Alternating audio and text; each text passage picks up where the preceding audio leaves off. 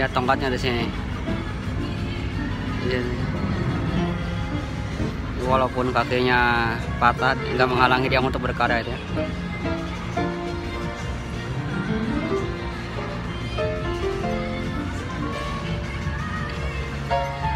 ya.